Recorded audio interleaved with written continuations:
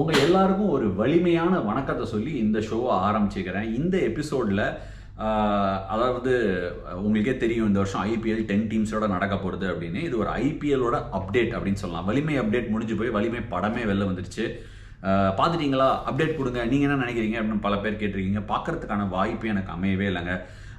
ஏன் அப்படின்னு பார்த்தோம்னா நான் இங்கே வந்து எனக்கு ஆக்சுவலி ஒரு சில ஒரு சில அதாவது டெஸ்ட் நான் சவுத் ஆஃப்ரிக்காவிலேருந்து ஆடிட்டு வந்ததுக்கப்புறமா ஒரு சில நிகழ்ஸ் இருந்தது. அதை அட்ஜஸ்ட் பண்ணி அதை அட்ஜஸ்ட் பண்ணி அதை சரிப்படுத்திக்கிற டைமில் இங்கே மொஹாலிக்கு நான் சீக்கிரமாக வந்து சண்டிகருக்கு வந்து சேர்ந்துட்டேன். ஒரு சில ஃபிட்னஸ் டெஸ்ட் ஒரு சில ட்ரீட்மெண்ட்ஸ்லாம் எடுத்துட்டு இப்போ டெஸ்ட் மேட்ச்சுக்கு ரெடி ஆகிட்டு இருக்கோம். டெஸ்ட் மேட்ச் டீமும் வந்து இங்கே ஃபுல்லாக அசம்பிள் ஆகிடுச்சு நான் இந்த வீடியோவை போட்டுருக்கிற போட்டுட்டு இருக்கிற சமயத்தில் ஸ்ரீலங்காவோட இந்தியா தரம்சாலாவில் டி ட்வெண்ட்டிஸ் விளையாடிட்டு இருக்காங்க.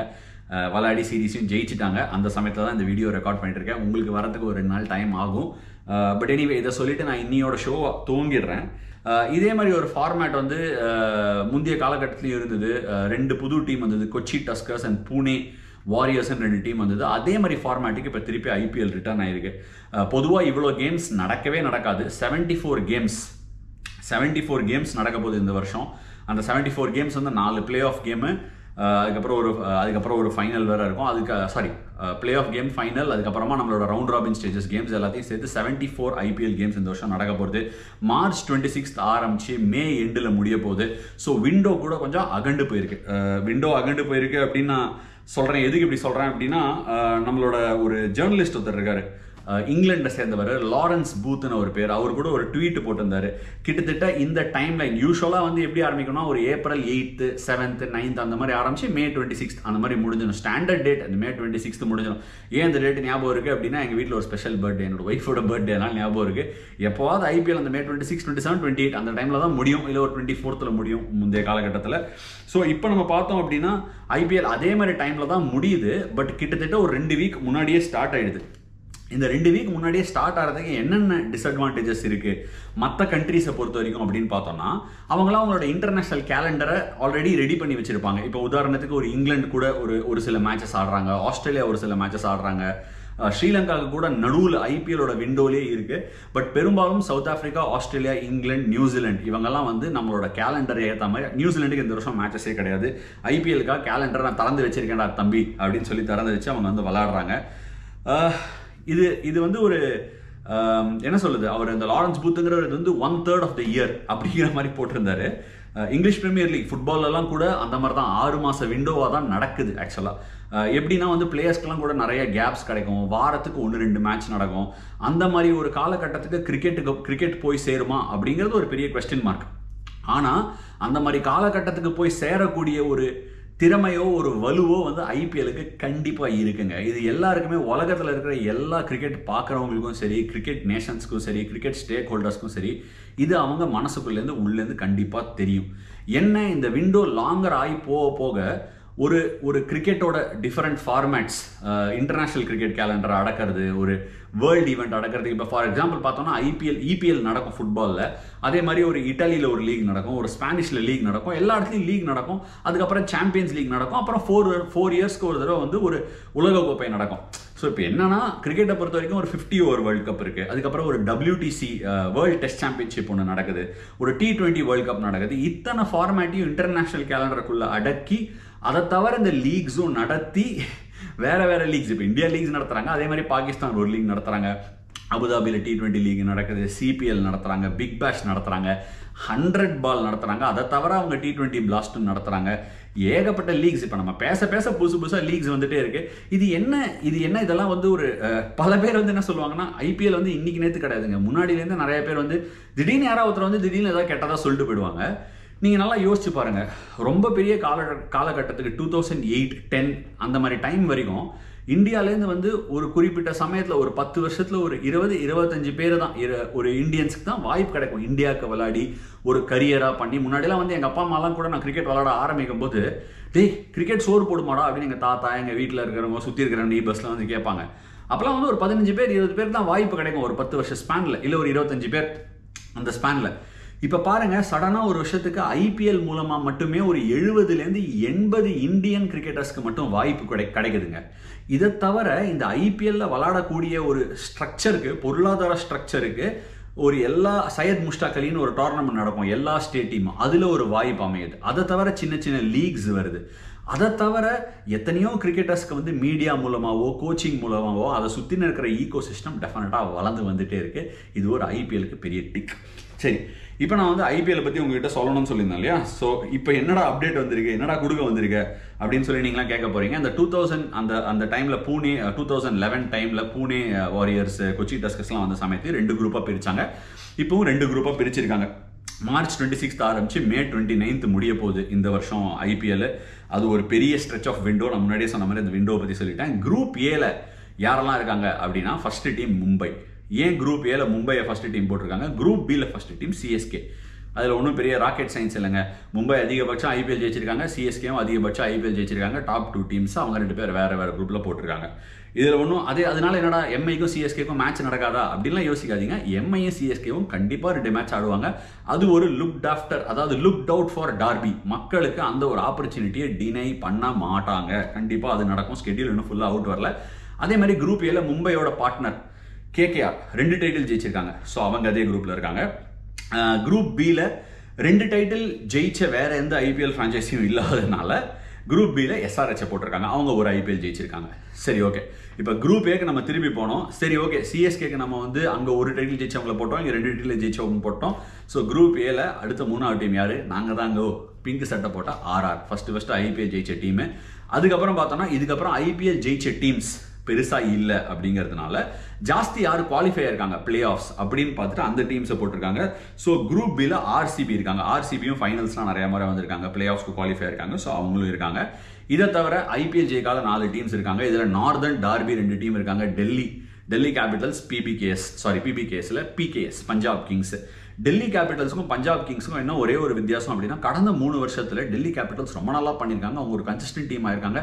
டைட்டில் ஜஸ்ட் மிஸ்டா கரடி அப்படிங்கிற மாதிரி மிஸ் ஆயிருக்கு. பிகேஎஸ்க்கு வந்து ஒரு மாதிரி ஸ்டெடியாக நல்ல பிளேயர்ஸ்லாம் ப்ரொடியூஸ் பண்ணியிருக்காங்க. பட் ஆனால் ஸ்ட்ராங்காக அமையல பட் இந்த தடவை கன் டீம் எடுத்திருக்காங்க. அண்டர் அனில் பாய் நிறையா வந்து வெளியிலேருந்துலாம் டெக்னி டெக்னிக்கல் சப்போர்ட் டெக்னாலஜி சப்போர்ட்டுக்கெலாம் ஆள் எடுத்துகிட்டு வந்து ஒரு மாதிரி ஃபியூச்சரிஸ்டிக்காக டேட்டா ட்ரிவனாக டீம் எடுத்திருக்கோம் அப்படின்னு சொல்லி பல போஸ்ட்டுகள் லிங்க்டின்லையும் பார்த்தேன். டேனியல் வெஸ்டன் அப்படின்னு சொல்லி சொல்லி ஒருத்தர் கூட்டு வந்திருக்காங்க. அவர் யாரா அப்படின்னு கேட்காதீங்க. அவர் ஹண்ட்ரட் பாலில் அந்த டீமோட ஒர்க் பண்ணவர். அவர் ஃபுல்லாக அந்த டேட்டா சயின்ஸை நம்பி அதை பேஸ் பண்ணி டீம் எடுக்கிறவர். அவரோட சப்போர்ட்டை அனில் பாய் கொண்டு வந்திருக்காரு நாடி இருக்காரு அவங்களாம் கூட லிங்க்டின்ல பெருசாக போஸ்ட் போட்டிருக்காங்க. நான் பார்த்தேன். சரி மற்ற ரெண்டு டீம் ஒன்றும் பெரிய கஷ்டமே இல்லைங்க. லக்னோ லக்னோ சூப்பர் ஜெயின்ஸ் ஒரு பக்கம் குஜராத் டைட்டன்ஸ் அந்த ரெண்டு டீமுக்கு அவங்க யோசிக்கவே இல்லை. நீ இந்த பக்கம் போ நீ இந்த பக்கம் போ அப்படின்னு சொல்லி குரூப் ஏல எல்எஸ்ஜியை போட்டாங்க லக்னோ சூப்பர் ஜெயின்ஸை குரூப் பியில் குஜராத் டைட்டன்ஸை போட்டாங்க. ஸோ இதுதான் ரெண்டு குரூப்ஸ் இந்த ரெண்டு குரூப்ஸில் வந்து என்ன ஒரே ஒரு விஷயம் அப்படின்னா குரூப் ஏல இருக்கக்கூடிய டீம்ஸ் அதாவது மும்பையை மும்பை தலைமையில் இருக்கிற அந்த குரூப்பில் இருக்கக்கூடிய டீம்ஸு அவங்களுக்குள்ளேயே விளையாடிப்பாங்க. அதாவது எப்படின்னா ஃபார் எக்ஸாம்பிள் எம்ஐ வந்து அவங்க குரூப்ல இருக்கிற மிச்சம் நாலு டீம்ஸோடையும் ஆளுக்கு தலா ரெண்டு ரெண்டு வாட்டி ஆடுவாங்க. பொதுவாக ஐபிஎல் எடுத்தோம் அப்படின்னா அந்த எட்டு டீமுமே ஒரு டீம் மற்ற ஏழு டீமோட ரெண்டு ரெண்டு வாட்டி ஆடிடுவாங்க. ஹோம் அண்ட் அவே அப்படின்னு சொல்லிட்டு. இந்த ஹோம் அண்ட் அவே கான்செப்ட்ஸ் இல்லை அடிபட்டிருக்கு. ஸோ கிரவுண்ட்ஸை பற்றி நான் அடுத்த கொஞ்சம் லேட்டரான இந்த வீடியோ சொல்கிறேன் டியூன் இன் பண்ணி பாருங்க. ஸோ இந்த குரூப் ஏல இருக்கக்கூடிய எல்லா டீம்ஸையும் அதாவது மிச்சம் இருக்கிற நாலு டீமும் ரெண்டு ரெண்டு வாட்டி ஆடினா எட்டு மேட்ச் ஆயிடுச்சு. ஸோ இப்போ இந்த பத்து டீமும் எதனால இந்த மாதிரி குரூப் அமைச்சிருக்காங்க அப்படின்னா இந்த பத்து டீம்லையும் ஒரு ஒரு டீமும் இன்னொரு இன்னொரு ஒம்பது டீமையும் தலா ரெண்டு வாட்டி ஆடணும் அப்படின்னா பதினெட்டு மேட்ச் ஆகிடுது ஆல்ரெடி அகண்டு இருக்கிற இந்த விண்டோ இன்னும் அகண்டு போயிடும் அப்படிங்கிறதுனால இந்த குரூப் மெக்கானிசமை போட்டிருக்காங்க. ஸோ இந்த குரூப் மெக்கானிசமை போட்டுட்டு கிளியராக என்ன மார்க் பண்ணிட்டாங்கன்னா நீ சரி ஓகேப்பா இது எட்டு மேட்ச் ஆயிடுச்சு. மீதி இருக்கிற குரூப்பில் நாலு டீம் இருக்குது இந்த நாலு டீமில் நீ எல்லா டீமையும் ஒரு ஒரு வாட்டி ஆடிடு அப்படின்னு சொல்லிட்டாங்க. ஸோ இந்த குரூப் ஏல இருக்கிற டீம் குரூப் பியோட இருக்கிற டீமோட விளாடவே மாட்டாங்களா? அப்படிலாம் கிடையாது. குரூப் ஏல இருக்கிற டீமோட விளாடிட்டாங்கன்னா எட்டு மேட்ச் ஆயிடும் அது. இன்னும் ஆறு கேமுக்கு நம்ம கரெக்டாக வந்து அவங்களுக்கு கொடுத்து அதே பதினாலு கேம் விண்டோ சேம் ஃபார்மேட்டை மெயின்டைன் பண்ணிக்கலாம் அப்படின்னு சொல்லிட்டு என்ன பண்ணிட்டாங்கன்னா குரூப்லே குரூப் ஏல இருக்கிற ஒரு ஒரு டீமும் குரூப் பியில் இருக்கிற நாலு டீமோட அதாவது அஞ்சு டீம் இருக்கு இல்லையா? ஸோ அதில் நாலு டீமோட ஒரு ஒரு கேம் ஆடுவாங்க. ஃபார் எக்ஸாம்பிள் நம்ம மும்பை எடுத்துக்கலாமே.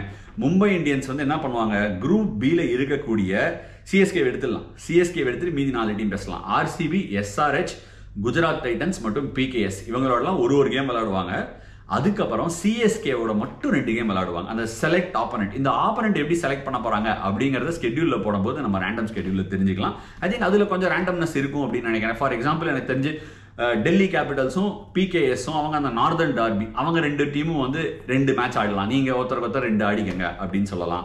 இல்லை இந்த new teams Gujarat titans and LSG இருக்குல்ல நீங்கள் ரெண்டு பேரும் ஆடிக்கங்கடா இந்த குரூப்லேருந்து அப்படின்னு சொல்லி டாக் டீம் பார்ட்னர் நம்மள டபிள்யூ டபிள்யூ மாதிரி டாக் டீம் பார்ட்னர் போட்டு அவங்களோட ரெண்டு கேம் ஆடிக்காங்க. மிச்ச டீம் ஓடலாம். ஒரு ஒரு கேம் தான் உங்களுக்கு அப்படின்னு சொல்லிடுவாங்க. இதில் என்ன ஒரே ஒரு பிரச்சனை இதில் என்ன ஒரு பியூட்டிஃபுல்லாக ஒரு விஷயம் பண்ணியிருக்காங்க அப்படின்னா சிஎஸ்கேவும் எம்ஐயும் லுக் லுக் ஃபார்வர்ட் கேமுங்க அதே மாதிரி எம்ஐ ஆர்சிபி சிஎஸ்கே ஆர்சிபிலாம் லுக் ஃபார்வர்ட் கேம் சிஎஸ்கே என்ன பண்ணாங்க ஆர்சிபியோட ரெண்டு கேம் போட்டாங்க எம்ஐயோடய ரெண்டு கேம் போட்டாங்க. ஸோ அது வந்து சார்ட்டட் என்ன எம்ஐ ஆர்சிபி கேம் நடக்காது. எவ்ரி இயர் எவ்ரி இயர் வந்து ஒரு டாக் டீம் கேம் கேம் மாதிரி அது அமையலாம். ஸோ ஒருவேளை KKR and RCB tag team பண்ணி நீங்கள் ரெண்டு கேம் ஆடுங்க அப்படின்னு சொல்கிறதுக்கான வாய்ப்பும் நிறைய இருக்குது எல்லா கேமையும் மகாராஷ்டிராவில் போட்டாங்க. ஃப்ளைட் ட்ராவலை கம்ப்ளீட்டாக அவாய்ட் பண்ணிட்டாங்க. போன தடவை அவங்க என்ன நம்புறாங்க அப்படின்னா ஃப்ளைட் ட்ராவல் நிறைய டச்சிங் பாயிண்ட்ஸ் இருக்குது நிறைய கான்டாக்ட் பாயிண்ட்ஸ் இருக்குது அதனால தான் வந்து எங்களோட பயோ பபுள்குள்ள வந்து வைரஸ் உள்ள ஊடுருவி வந்துருச்சு. அதனால இந்த தடவை மகாராஷ்டிராவில் எல்லாத்தையும் முடிச்சுக்கலாம். இங்கேயே பேசிக்கலாம் இங்கேயே பழகிக்கலாம். எதுவாக இருந்தாலும் அதுக்குள்ளே முடிச்சுக்கலாம். ப்ரீபெய்ட் ரவுடி அப்படிங்கிற மாதிரி இந்த ஐ- இந்த ஒரே டெஸ்டினேஷனில் முடிச்சுக்கிறாங்க. சரி மகாராஷ்டிராக்குள்ளே என்னடா இருக்குது ஏன் துபாய்க்கே போகல அப்படின்னு நீங்கள் யோசிப்பீங்க. மகாராஷ்டிராக்குள்ள ஒரு பியூட்டிஃபுல் ஸ்ட்ரக்சர் இருக்குங்க. துபாய்க்கு திருப்பி போனால் இந்த தடவை என்ன சொல்கிறது இப்போ ஆல்ரெடி நம்ம டி டுவெண்ட்டி சீரிஸ்லாம் வந்து நாற்பது பர்சன்ட் க்ரௌட் அலோவ் பண்ணுறாங்க ஸோ க்ரௌட் அலோவ் பண்ணுவாங்க அப்படின்னு நம்புறோம். ஏன்னா கோவிடோட தாக்கம் கொஞ்சம் குறைஞ்சி நம்மளோட வாழ்க்கையெல்லாம் திருப்பி இப்படிதான் போன வருஷமும் சொன்னேன். ஹோப்ஃபுல்லி இந்த தடவை ஃபிங்கர்ஸ் கிராஸ்ட் இது நீடிக்கும் அப்படின்னு சொல்லிட்டு. பட் க்ரௌடும் கொஞ்சம் திருப்பி அலோவ் பண்ணுவாங்க. அதே மாதிரி பார்த்தோம்னா மகாராஷ்டிராவில் நாலு கிரவுண்ட் இருக்குங்க. துபாயில் மூணு கிரவுண்டு தான் இருக்குது அதில் ஷார்ஜா ஒன்று குட்டி கிரவுண்டு இங்கேயும் அதே மாதிரி இந்த நாலு கிரவுண்டில் ரெண்டு கிரவுண்டு பயங்கர குட்டி கிரவுண்டு எந்தெந்த நாலு கிரவுண்ட் அப்படின்னு பார்த்தோம்னா வான்கடே வான்கடே ஸ்டேடியம் மும்பை இந்தியன்ஸோட ஹோம் கிரவுண்ட் அவங்களுக்கு எவ்வளோ எவ்வளோ மேட்சஸ் அங்கே கொடுத்து ஹோம் கிரவுண்டு அவங்களுக்கு அட்வான்டேஜாக கொடுக்க போகிறாங்க அப்படின்னு பார்க்கணும். செகண்ட் பார்க்க போகிறது மும்பையிலே இருக்கக்கூடிய பிராபோன் ஸ்டேடியம் பிராபோன் ஸ்டேடியமும் வான்கடே ஸ்டேடியமும் ட்வின் பிரதர்ஸ் மாதிரி. பக்கத்து பக்கத்து அடுத்தடுத்த தெருவில் இருக்கக்கூடிய கிரவுண்ட்ஸ் ரெண்டுமே. இதில் என்ன ஒரு வித்தியாசம்னா வான்கடை தீப்பெட்டி சைஸ் கிரவுண்டு பிராபோன் கொஞ்சம் பெரிய கிரவுண்டு ஆனால் பிராபோன் எப்படின்னா இங்கிலாந்தில் இருக்கக்கூடிய ஓவல் கிரவுண்டு மாதிரி. நிறைய பிச்சஸாக இருக்கும் சைடெல்லாம் so fast travelling outfield தான். ஸோ இந்த ரெண்டு கிரவுண்ட்லையுமே ஒரு ஹை ஸ்கோரிங் அஃபேர் கண்டிப்பாக பார்க்கலாம். சரி மற்ற ரெண்டு கிரவுண்டில் ஹை ஸ்கோரிங் அஃபேர் பார்க்க முடியாதா? இல்லை கண்டிப்பாக பார்க்கலாம். அங்கேயும் ஹை ஸ்கோரிங் அஃபேர் தான். டிவை பாட்டில் கிரிக்கெட் ஸ்டேடியம் இந்த டிவை பாட்டில் கிரிக்கெட் ஸ்டேடியம் எங்கே இருக்குது அப்படின்னா மும்பைலேருந்து கொஞ்சம் தன் தள்ளி ஒரு ஒரு சில டிஸ்டன்ஸ் இருக்குது in fact DY Patil T twenty டோர்னமெண்ட்னு வருஷா வருஷம் டி டுவெண்ட்டி டோர்னமெண்ட் நடத்தி இன்ஃபேக்ட் நிறைய பேர் வந்து மும்பை இந்தியன்ஸில் ஸ்கவுட் பண்ணுற பிளேயர்ஸ் எல்லாம் நிறைய பேர் இந்த ஒரு டோர்னமெண்ட்டில் விளாட வச்சு அவங்க க்ரூம் பண்ண வச்சு பார்ப்பாங்க. இன்ஃபேக்ட் ஹார்திக் பாண்டியா இஷான் கிஷன் இவங்க எல்லாருமே இந்த டோர்னமெண்ட்டில் விளையாடிருக்காங்க. இது ஒரு இம்பார்ட்டன்ட் டோர்னமெண்ட்டு இன்ஃபேக்ட் எங்களோட கார்ப்பரேட் டீம்லேருந்து கூட ஒரு டீ- ஒரு டீம் வந்து இந்த தடவை டோர்னமெண்ட்டுக்கு போகிறதுக்கான வாய்ப்பு இருக்குது சென்னையில் இருக்கக்கூடிய கார்ப்பரேட் டீம் அந்த டோர்னமெண்ட் வந்து மார்ச்சில் நடக்கும். யூஸ்வலாக மார்ச் அந்த ஃபஸ்ட் ஃபஸ்ட் வீக் எண்டில் ஸ்டார்ட் பண்ணி அப்படியே நடக்கும். ஸோ இப்போ எப்படி நடக்க போகுது? செகண்ட் வீக்கில் எப்படி ஸ்டார்ட் பண்ண போகிறாங்க அப்படின்னு சொல்லி கொஞ்சம் பொறுத்து இருந்து நம்ம பார்க்கணும். அடுத்து பார்த்தோம்னா நம்மளோட பூனே ஸ்டேடியம் பூனேல வந்து இப்போ பூனே சூப்பர் ஜெயின்ஸ் விளாடின அதே ஸ்டேடியமில் தான் இந்த தடவை கண்டினியூ பண்ணி அங்கேயும் விளையாடுவாங்க. இன்ஃபேக்ட் வான்கடே ஸ்டேடியம்லையும் மும்பையில் இருக்கக்கூடிய டிவை பாட்டில் ஸ்டேடியம்லையும் இருபது இருபது கேம் போஸ்ட் பண்ண போகிறாங்க அதே மாதிரி பிராபோன் ஸ்டேடியமில் பதினஞ்சு பூனேல பதினஞ்சு. கரெக்டாக நீ கொஞ்சம் வச்சுக்கோ நீ கொஞ்சம் வச்சுக்கோன்னு பிரிச்சிட்டாங்க. ஸோ அங்கேயே முடிஞ்சு போச்சு நமக்கு வந்து கிட்டத்தட்ட என்ன சொல்கிறது எழுபது கேம் அங்கேயே ஓவர் மீதி இருக்கிற நாலு கேம் பிளே ஆஃப் ஃபைனல்ஸ்லாம் எங்கே நடக்க போகுது? அதுக்கு இன்னும் ஸ்கெட்யூல் கொடுக்கல அது எங்கன்னு சொல்லலை அப்படின்னு அதிங்க அதில் எனக்கு ஒரு பெருசாக சந்தேகமே இல்லை.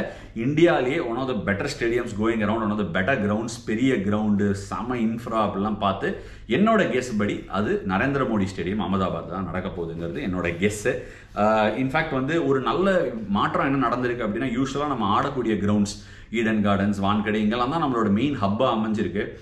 ரொம்ப நிறைய கண்ட்ரோலபிள் ஃபேக்டர்ஸ் இல்லை. அதாவது வந்து டியூ வந்துடும் கிரவுண்ட் ரொம்ப குட்டி ஒரு ஒரு சீக்ரெட் ஆஃப் பிளேயே இல்லை. இப்போ தான் கொஞ்சம் பெரிய கிரவுண்ட்ஸ் வந்திருக்கு. அந்த கிரவுண்ட்ஸ் எல்லாம் நல்லா விளாட ஆரம்பிச்சிருக்கும். அந்த லக்னோவில் இருக்கிற எக்கனா ஸ்டேடியம் ரொம்ப நல்ல ஸ்டேடியம் பெரிய கிரவுண்டு போலர்ஸ்க்கு சம்திங் இருக்குது ஒரு கிரவுண்டில் இருக்கிற கண்ட்ரோலபிள்ஸ் இருக்குது அதே மாதிரி Narendra Modi ஸ்டேடியமும் big ground lots of controllables which is a good direction சரி எனிவே இப்போ நம்ம அடுத்து பார்க்க போகிற விஷயம் என்ன அப்படின்னா இந்த நாலு கிரவுண்டை பற்றி நமக்கு என்ன தெரியும்? இந்த நாலு கிரவுண்டில் மூணு கிரவுண்டு இன்டர்நேஷ்னல் கிரவுண்டுங்க அதாவது டெஸ்ட் மேட்ச் நடந்திருக்கிற கிரவுண்டு எது எதுன்னு பார்த்தோம்னா நம்ம பூனே வான்கடே ஸ்டேடியம் பிராபோன். இந்த மூணு இடத்துல இன்டர்நேஷனல் கேம்ஸ் நடந்திருக்கு. வேற டிஒய் பாட்டில் ஸ்டேடியமில் இன்டர்நேஷனல் கேம்ஸ் நடந்ததே கிடையாது. ஐபிஎல் கேம்ஸ் நடந்திருக்கு. சரி நம்ம டிஒய் பாட்டிலேருந்து ஆரம்பிக்கலாம். என்னதான் இன்டர்நேஷனல் கேம் நடக்கலை டெஸ்ட் மேட்ச் நடக்கலை அப்படின்னு நம்ம சொன்னால் கூட அந்த இடத்துல ஏகப்பட்ட அவுட்ஸ்டாண்டிங் மெமரிஸ் ஒரு சிஎஸ்கே பிளேயராக டூ தௌசண்ட் டென்னில் ஃபைனலும் சரி செமிஃபைனலும் சரி இங்கே தான் விளாடணும் அங்கே தான் நம்ம ஃபஸ்ட்டு டைட்டில் அடித்தோம் இன்ஃபேக்ட் செமிஃபைனலில் வந்து ஒரு ஃபோர் ஓவர்ஸ் ஃபோர்டீன் ரன்ஸ் கொடுத்து ஒரு விக்கெட் ஆண்ட்ரூ செமன்ஸ் விக்கெட் எடுத்துகிட்டு அப்படியே செலிப்ரேட்லாம் பண்ணுவேன். அப்போ வந்து சுரேஷ் அண்ணா சொல்லுவார் ஆண்ட்ரூ செமன்ஸ் எப்படி அடிப்பான் தெரியுமா? நல்ல வேலை விக்கெட் எடுத்துட்டு அப்படின்னு சொல்லி வந்து கட்டிலாம் பிடிப்பாரு. ரொம்ப மெமரபிளான கேம் ஒரு அதே மாதிரி நியூ பாலில் பவர் பிளேல அப்போ தான் நான் போடுவேன் அப்படின்னு சொல்லிட்டு அது கொண்டு வந்த ஒரு ஒரு டைம் இன்னும் கூட நல்ல அப்படியே மைண்டில் ஃப்ரெஷ்ஷாக இருக்குது அப்படியே போவோம் ஃபைனல்ஸில் திருப்பி ஒரு மும்பையோட ஒரு சம கேம் ஒரு one sixty one sixty game தான் ரெண்டுமே. இன்ஃபேக்ட் மும்பையோட கொஞ்சம் ஜாஸ்தி அடிப்போம். எனக்கு நல்லா ஞாபகம் இருக்கிற கேம் என்னன்னா ரைனா வந்து ஒரு அவுட்ஸ்டாண்டிங் நாக் ஆடுவார் ஃபைனலில் ஆடிட்டு இன்ஃபேக்ட் நிறைய கேட்சஸ் சொல்லுவாங்க அவர் அதை அப்படியே ரைட் பண்ணி அடிப்பார். பாவம் ரைனா அன்சோல்டாக போயிட்டான்னு சொல்லி நிறைய பேர் சிஎஸ்கே ஃபேன்ஸ்லாம் நிறைய பேர் வருத்தமாக இருக்காங்க.